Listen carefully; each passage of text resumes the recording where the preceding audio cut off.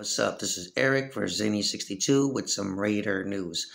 All right, so Odell Beckham Jr. is now on waivers because it is Tuesday. But one thing that's very interesting with this whole situation with Odell is even though he's on waivers, he's made it plainly clear that he only wants to go to a team that is a playoff contender and that he could be productive in and that he could be happy with. So, not just any team will be able to claim him.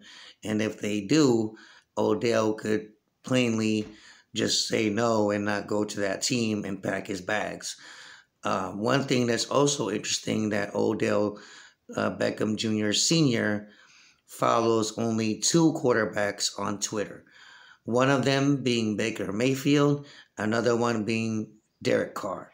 That's very interesting because the Raiders still have a shot now at landing Odell. Um, we'll just have to wait and see how this plays out. Um, but you know the fact that his dad Odell Beckham Sr. is um, following Derek Carr, that says something as well. Could mean nothing, could mean something, but nonetheless, uh, Odell Beckham Jr. will choose who he wants to play for and if he doesn't like a team, he's going to go ahead and probably not go there. Okay. So the Raiders, to me, still have a 50 50 shot at landing Odell, but we'll see what happens. They already got DeSean Jackson, but why not get both, right? Make a playoff push. All right. So Odell, sign with the Raiders.